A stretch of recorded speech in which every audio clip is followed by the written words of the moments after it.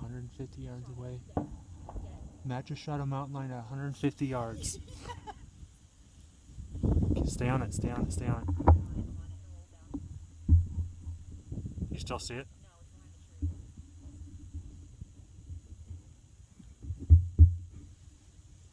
You got it, Matt. Just keep an eye on it.